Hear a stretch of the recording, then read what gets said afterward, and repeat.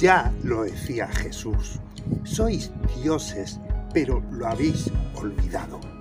Cuando conectas con tu alma y tienes chispazos de inspiración, te tornas más creativo. Eres capaz de desarrollar un enfoque nuevo sobre alguna eh, materia en concreto mediante un procedimiento mental y planificación de metas. Llega a ser capaz de ser consciente de tal manera que lo que visualizas, aquello que deseas en tu mente, se hace cada vez más intenso. Estás escribiendo tu historia en tu imaginación, tan claro e ideal que lo crees fácil de realizar. Incluso sientes el triunfo antes de conseguirlo. Lo saboreas, lo sientes, lo hueles. Esos hechos son reales incluso antes de materializarlos.